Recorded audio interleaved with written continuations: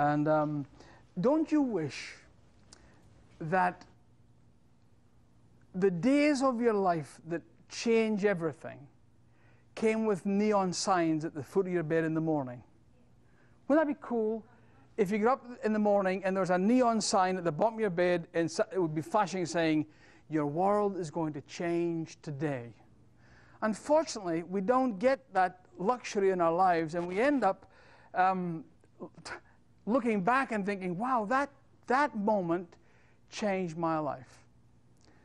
Well, I believe tonight that God is going to speak to your heart for a harvest of your home and your family. A lot of years ago, I preached on household salvation. I'm the first generation in over 200 years of my family that were, has been born and lived without being alcoholic. Every Cameron in our family were alcoholics.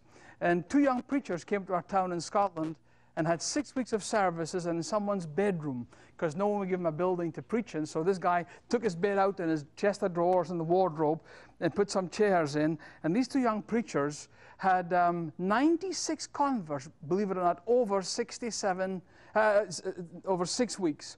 And out of the 96 converts, 67 of them were Camerons. And God, in a six week space of time, totally revolutionized our family from a bunch of alcoholics that would lie in the gutter all weekend. And you'd see them when you went to work on Monday morning. We, we were the family lying in the gutter, completely ruined by alcohol. And those two young preachers that had just come out of Bible school were speaking every night, and someone, someone would get saved every night and say, What's your name? Cameron. What's your name? Cameron. What's your name? Cameron. And they thought they were Billy Grahams. They thought, My Lord, our ministry is going to be huge.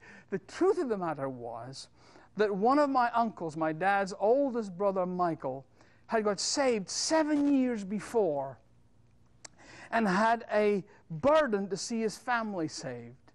And he prayed non stop for seven years laughed at, mocked at, joked about. They, tried to, they thought he'd gone crazy and they tried to make him lose his temper and they switched the radio on to try and let him, get him to sing worldly. I mean, they did everything to break his spirit for seven years.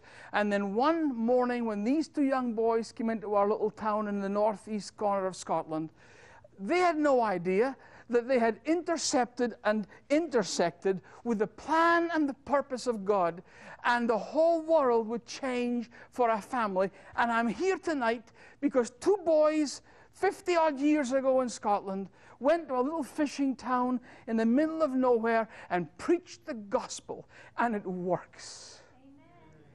And somehow, I don't know why, but I have got a feeling in my heart that tonight is going to be one of those kind of nights for you. I believe that your whole future can change when a Rhema word from God comes into your heart. You don't have to live in your family situation the way it is. You don't have to have your heart broken by your sons and daughters every day.